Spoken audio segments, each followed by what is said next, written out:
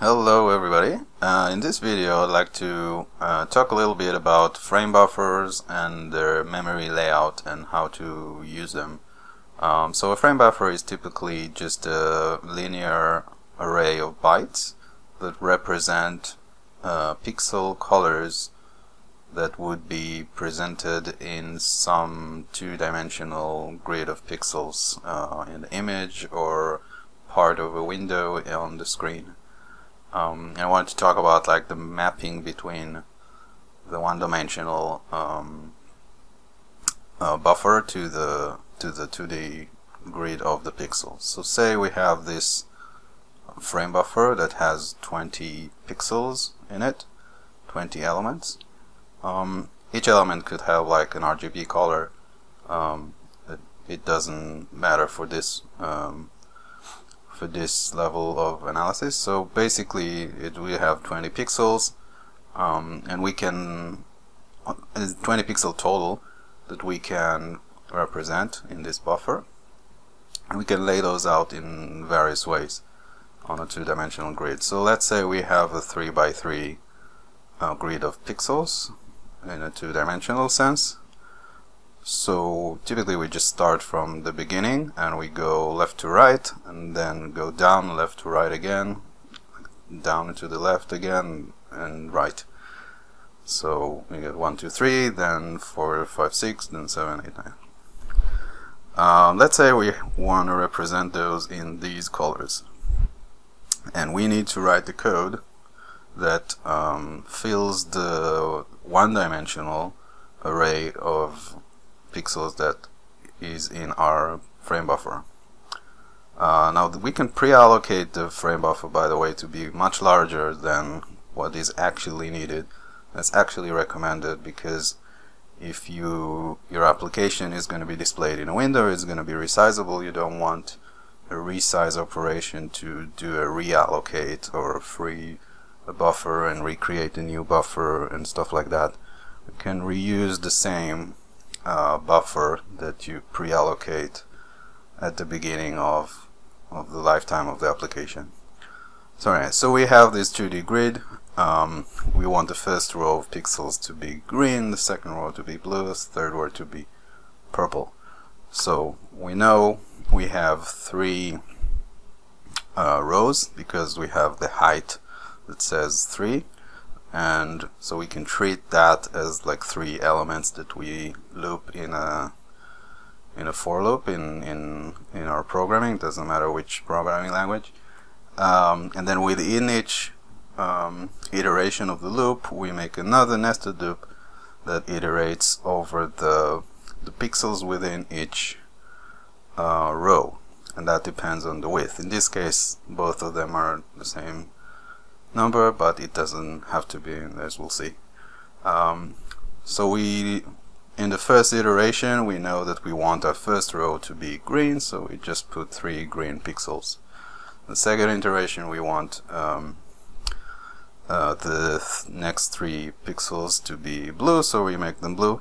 And notice that um, we just assume, we're just running on a one-dimension linear buffer and we're assuming that the way it's going to be laid out in, a two-dimensional grid is as a 3 by 3 um, matrix basically uh, 3 by 3 grid.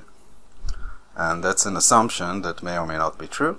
And we the, the way this would work is that whatever assumption the code that writes the pixel values is making as long as that assumption is the same assumption that whatever's reading those in, and displaying those as a two-dimensional pixels as, those, as, as long as those assumptions are in sync then this will work.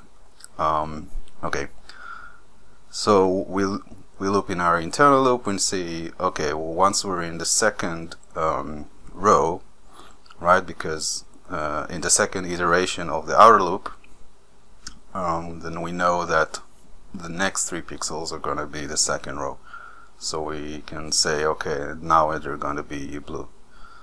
Um, and then the third for uh, the third row. Now let's say the user starts stretching the the window. Okay? So now our width is 4 and if I go back you can see that in this case before we our pixel number 4 was the first pixel of the second row and pixel number 7 was the first pixel of the third row. Now pixel number 4 is, has been repurposed to be the last pixel of the first row and pixel 7 is the second to last pixel in the second row right? And pixel 8 used to be uh, in the middle of the last row now it's the end of the second row etc right? So um, we still have the same linear memory the same one-dimensional array of bytes but the interpretation of what it means um, for each index uh, for each element in the array uh, the mapping between that to the to the grid has changed. So we need to be aware of that. So uh, whenever the screen gets resized the um, uh, frame buffer mapping definition somewhere that holds you know what the width and the height should be should be stored somewhere with the frame buffer such that the code that uh, loops over it and fills pixels need to need to know that the the mapping has changed. Right? Uh, so now it needs to in the outer loop we still have a height of 3 so we're still looping three times. In the inner loop uh, we're now supposed to be looping four times.